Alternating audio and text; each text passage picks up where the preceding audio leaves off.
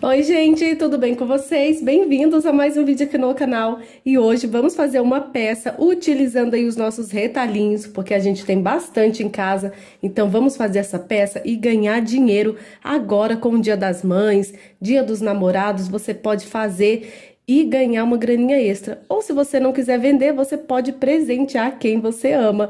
Mas antes da gente ir para o passo a passo, se inscreva aí no canal se não for inscrito ainda, deixa o seu like se você gostar do vídeo e deixe aí nos comentários para saber o que você achou dessa peça de hoje usando os retalhinhos. Então, ó, vamos lá para o nosso passo a passo de hoje. Eu já separei os meus retalhinhos, vou usar, ó, esse tecido de tricoline, tá? 100% algodão. Eu separei esse aqui de bolinha ele tá cortado na medida de 14 por 14, um quadradinho, né, de 14 por 14.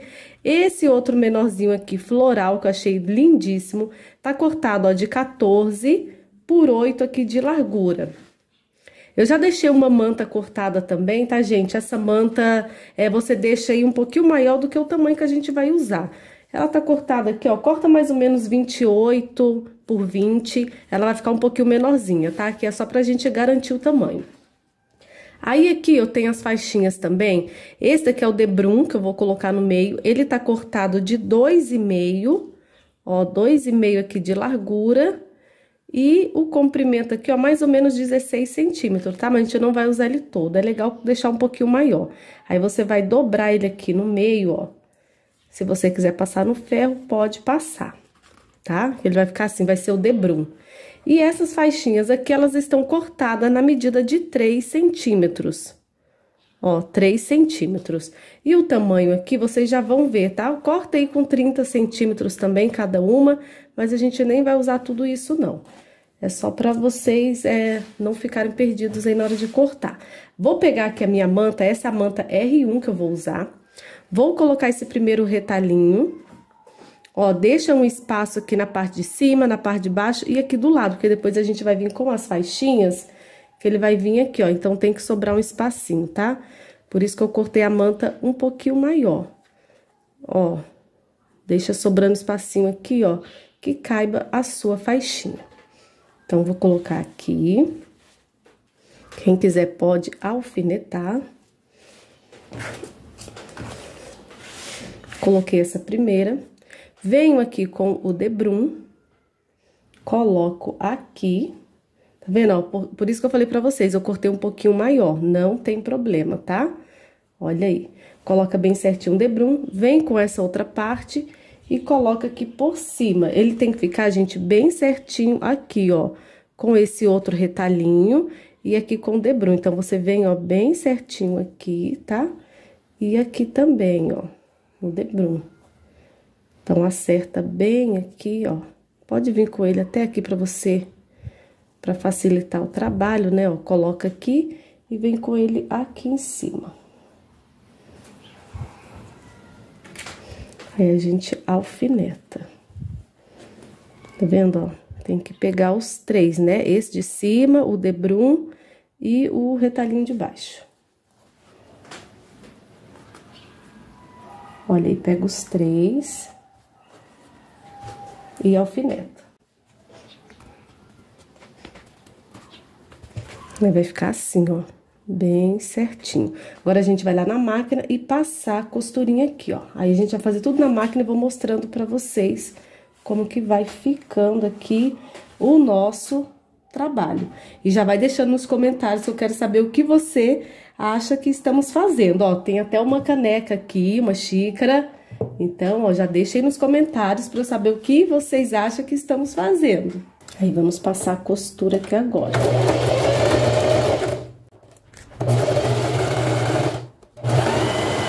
Olha aí, feita a costura, vamos desvirar e vai ficar esse debrunzinho aqui, ó, tá vendo, gente? Ó, esse debrum vai ficar assim, desse jeitinho, ó, pra dar um destaque, tá vendo? Aí, você acerta aqui alfineta, pra ele ficar bem esticadinho com esse tecido. Vou alfinetar aqui, olha que rápido que é de fazer. Vou pegar aqui as minhas faixinhas, vou colocar nas duas laterais primeiro, tá vendo? Ó, aqui passando um pouquinho. Aí, eu gosto de deixar passando um pouquinho, depois a gente corta. Aí, ó, coloca aqui e costura. Olha que rapidinho que é de fazer. Olha,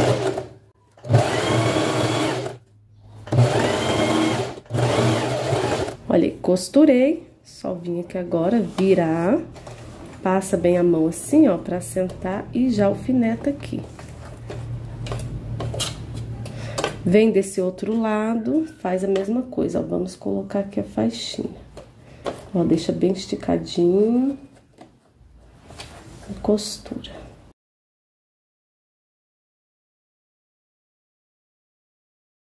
Olha aí, costurei. Aí você joga aqui, bem esticadinho, alfineta. Agora, essas duas partes a gente já vai cortar. Tá vendo que eu falei pra vocês? Eu deixo passando um pouquinho, não tem problema. Olha lá, ó. Porque vai vir outra faixinha aqui em cima também, né? Se você não quiser nem cortar tanto, ó. Tá vendo? Não precisa ser bem certinho, não, porque a outra faixinha vai vir aqui agora. Ó. Olha que prático, né, gente, de fazer. Agora, você vem com a outra faixinha e vem aqui agora, ó, em cima, tá vendo? Ó. Agora, você acerta bem aqui, ó. Se quiser, pode alfinetar, tá, gente? Mas, ó, só vir aqui bem rente, ó, com tecidinho e costurar.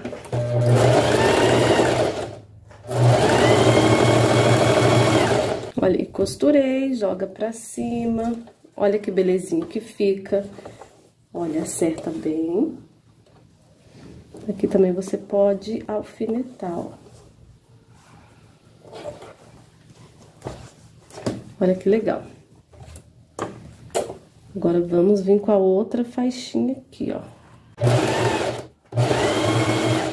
Olha, feita a costura, joga pra cima, ó, acerta. Aqui agora eu vou passar uma costura, ó, de fora a fora, tá, gente? Pra prender aqui bem, pra depois a gente cortar essa manta. Olha aí, gente, agora eu vou cortar aqui o excesso, né, da manta. Pra acertar bem bonitinho aqui, ó. Olha, gente, refilei então a manta. Aí, na hora que você refilar, você mede direitinho aqui, tá? Pra ficar bem certinho dos quatro lados. Agora, vou vir aqui com forro, tricoline também, vou usar esse liso. Aí, eu cortei maior o forro, tá? Do que essa parte principal. Aí, você vem aqui, ó, frente com frente. É legal você deixar o forro maior, porque na hora que você costurar aqui, depois só refilar, não tem problema. Ó, deixei frente com frente. Vamos alfinetar. Olha, alfinetei, vou passar uma costura pezinho de máquina em toda a volta e vou deixar uma abertura, né, gente? Vou escolher aqui uma parte, pode ser essa parte que tem um quadrado aqui maior, você deixa uma abertura aí, ó, de uns quatro dedos assim, mais ou menos, pra gente desvirar. Aqui, gente, eu troquei meu calcador. Esse calcador é aquele largo que vem aqui na máquina mesmo. Muita gente me pergunta sobre esse calcador aqui. Esse é o calcador estreito para costura reta mas dependendo do, do trabalho que você for fazer, ele fica muito aqui na beiradinha, aí eu não gosto de usar ele. Aí eu coloco esse daqui, ó, porque ele pega mais. Tá vendo? Ele fica bem melhor na pra gente costurar. Então, vou começar aqui, ó, pela parte que eu vou deixar abertura, porque aí eu já faço o retrocesso aqui, ó, vou deixar nessa parte aqui, abertura. Tá vendo, gente? Ele pega melhor, porque esse daqui, ele é mais estreito, aí ele, ele escorrega dependendo aí do trabalho. Passei a costura, agora vamos refilar e tirando essas pontinhas aqui, ó, tá? Refila tirando as pontinhas. Na onde você deixou a abertura, não refila aqui o forro, tá, gente? Pra facilitar depois na hora da gente virar. Aí a pontinha você tira. Aqui na aberturinha você pula, não refila o forro. E continua aqui, ó. Agora vem e desvira.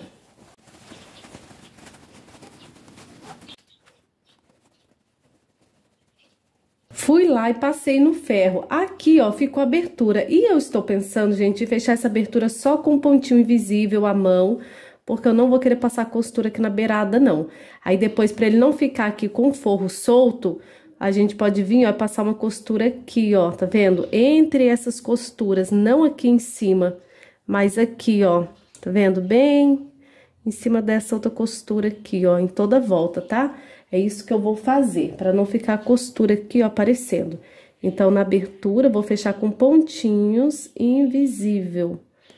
Pontinhos aqui, ó, à mão, tá?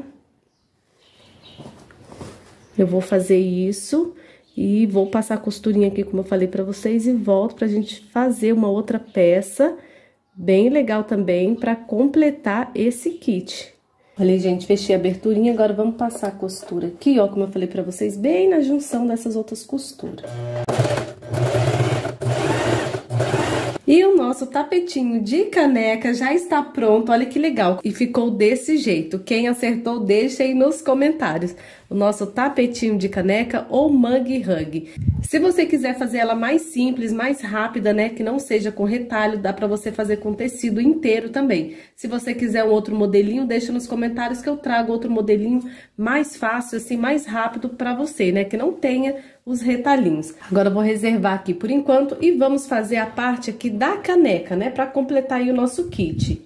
Essa parte aqui da caneca, gente, ela vai cobrir aqui a sua caneca, tá vendo? Você vai pegar a sua xícara, vai medir ela dessa forma, aonde você quer o tecidinho, ó. O meu aqui dá 23 centímetros, até 23 centímetros pra mim tá ótimo mas eu vou cortar o meu tecido com 24 centímetros.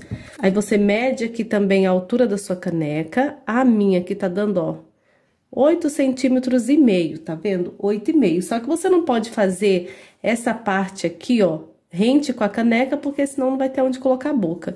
Então, a minha eu cortei aqui, olha, com 8 centímetros, porque depois vai descontar a costura e ela vai ficar um tamanho bem legal, vai ficar aí com 6,5, 7, mais ou menos, tá bom? Aí você vai e mede direitinho. Aí eu peguei meu tecidinho, estruturei na manta R1, cortei ele aqui na medida de 24, como eu falei pra vocês, com 8 centímetros. Vou usar aqui, ó, dois elastiquinhos, elastiquinho roliço, e vou costurar ele aqui, ó, tá? Dessa forma, um desse lado e o outro desse outro lado aqui. Mede direitinho para você, para ele não ficar fora de lugar. E depois a gente vem com o forro aqui por cima, passa a costurinha deixando uma abertura. Eu fiz uma medida de um centímetro e meio e risquei, tá? Pra colocar o meu elastiquinho, ó, dos quatro lados eu fiz a mesma coisa. E o elastiquinho eu não passei a medida, né? Eu cortei ele na medida de 13 centímetros. Você vem que agora, ó, em cima do risco, né, que a gente fez, passa a costurinha pra prender. Elástico preso, vem aqui com o forro, coloca aqui, passa a costura pezinho de máquina, deixando uma abertura. Passei a costura, vamos refilar agora em toda volta, a aberturinha tá aqui, ó, gente. Na abertura, como eu sempre falo, deixa sobrando aqui um pedacinho é do forro. Aqui os cantinhos a gente refila. Ó, aqui na parte da abertura você pula. Aqui você corta os cantinhos. Olha, vamos desvirar.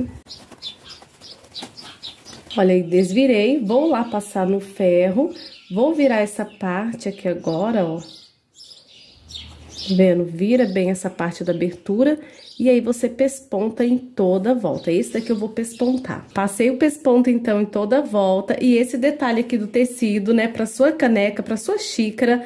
Caso você compre uma xícara que já tem aí a mensagem, você pode deixar assim, ó, só a xícara com o tapetinho já vai ficar lindo. Mas se você comprar ela branquinha e quiser colocar um detalhe, você vem com essa parte aqui agora, né? Como fizemos, eu acho que fica bem bonita, dá um detalhe bem legal para você vender o kit aí da sua Mug Hug. Ó, como eu falei para vocês, deixa eu virar desse lado para vocês verem melhor. Tá vendo? Ela vai ficar mais para baixo, ó, vai ficar mais para baixo aqui pra dar para colocar a boca aqui, né, gente? Que não tem como colocar a boca aqui no tecido. Então, ela fica mais aqui para baixo, tá vendo? E olha que legal, aqui eu só coloquei assim, ó. Tem umas que eu já vi que é colocado só o elastiquinho aqui nessa parte, ó.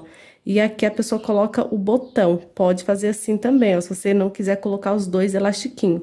Você coloca só em uma parte e coloca um botãozinho aqui, ó. Fica bem bonitinho também. Então, fica aí a seu gosto, né? Assim fica bem legal também, ó. E aí está pronto o nosso tapetinho de caneca ou a nossa mug hug para você presentear agora no Dia das Mães, para você presentear no Dia dos Namorados, ou você pode fazer o kit assim também, ó, que fica lindíssimo para você vender e ganhar uma graninha extra. Espero muito aí que você tenha gostado. Deixe nos comentários para eu saber o que você achou desse lindo kit de tapetinho de caneca. Olha que lindo, gente, eu amei. E se você quiser um outro modelinho, deixa nos comentários que eu vou trazer outro modelinho para vocês, tá bom? Um grande beijo e até o próximo vídeo. Tchau!